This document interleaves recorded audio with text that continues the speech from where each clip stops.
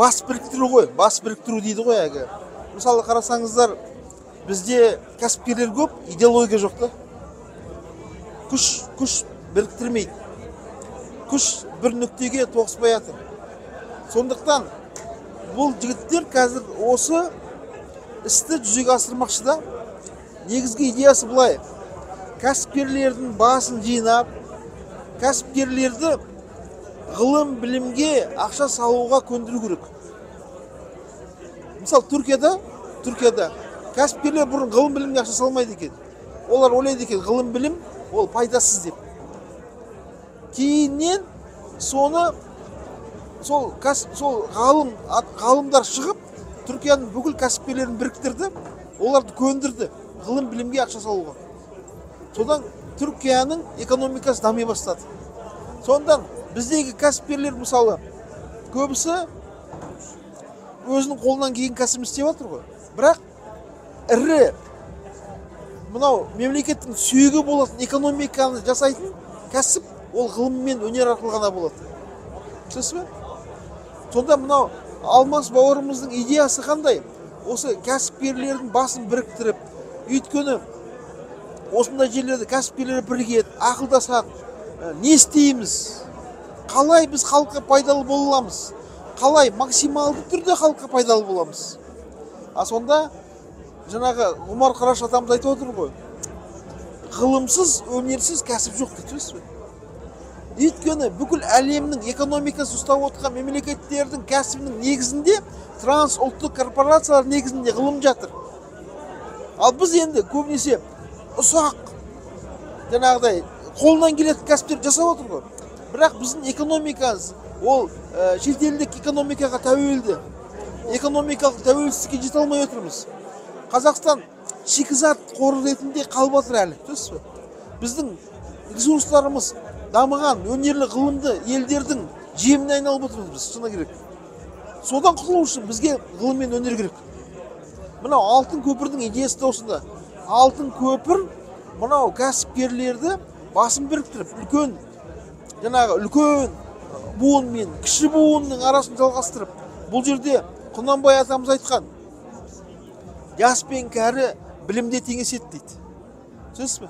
Аға осы сіз мысалы ана жастар бар ғой енді. Олардың жаңа жаңа жоба бастап жатқандар өзін алатын алады жаңағы кәсіпкерлермен сөйлеседі аға буыннан білімін алады жаңағы кәсіп жолын алады да. Ал аға буынға не береді мұндай нелер бұл жерде былай ғой.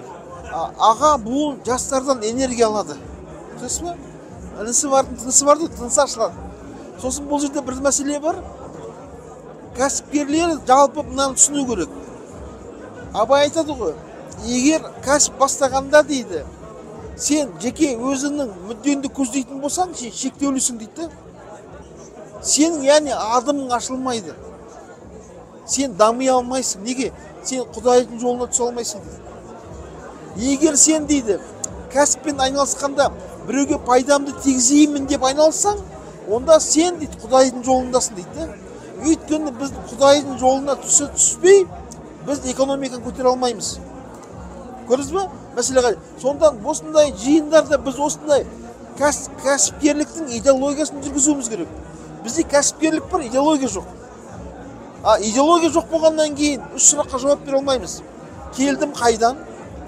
Қайтсем пайдам өлген соң не болам?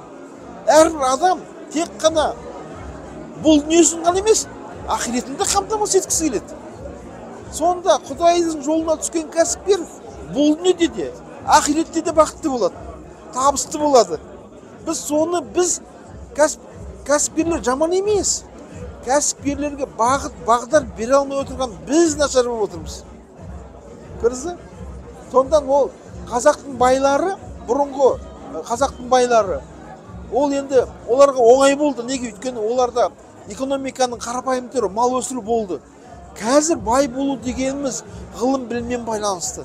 Сен бүкіл елдің жаңағы әлемнің ғылымын меңгеріп барып қана трансұлттық корпорациялардың басшысына айналасың. Сол солар мемлекеттің сүйегі бола алады түсінесіз елдің елді елді депутат сақтап қаламайды елді президент сақтап қаламайды елді кәсіпкер сақтайды.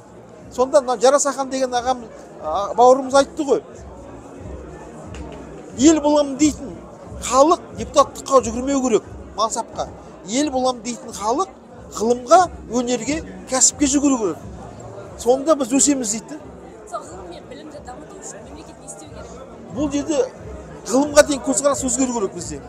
Бізде өкінішке қарай ғылым ақша табудың жолына айналып отыр да біз ғылымды сүймейміз ақшаны сүйеміз сондықтан ғылым бізге өлсе ашылмайды. Керісінше ғылым бізде ақша құндылық болып тұр. Ғылым құндылық емес. Қашан ғылым құндылыққа айналған кезде абай айтады ғой қашан сен ғылымның өзін дәулет деп білген кезде ғана дейді. Ғылым елжіреп қолыңа түседі дейді. Сонда ақша да мақтан да мансап та өзгереді сізге. Сондықтан қазіргі кезде мемлекеттік идеология ең үлкен құндылық ғылым деп жариялау керек. Сонда біз өсеміз сосын менің сұрағым бар кешіріңіз мысалы қазір бар не кітап оқымайтын жастар бар. Инстаграмды шұқылап тиктокта отыратын жастар бар иә. Не бір туындыны оқымайтын жастар бар. Соған байланысты өзіңіздің ойыңызды айта кетсеңіз бұл былай ғой ә, поэзия ол мынау ә, танымның ең биік сатысы деп айтқан ғой ғал- ғұлам немесе абай айтады өлең сөздің патшасы дейді да. Бұл поэзия сен ақын болуың шарт емес. Поэзия сенің өзіңнің кім екендігіңді түсінуге көмектеседі. Айтады ғой мұхтар шахан маған отыр ғой. Адам көп айтады ғой. Он, ал оның қаны, қаны пезер болғандығы дейді. Бойындағы поэзиясын дамытпаған дейді да сонда поэзияны түсінген адам ешқашанда ешкімге қиянат жасамайды. Поэзияны түсінген адамның жаны мөлдір бұлақ сияқты болады. Біз қазақ ақын жанды халықпыз. Ақынды жанды халық деген не? Ол халық өмірді өнер деңгейінде сүрген.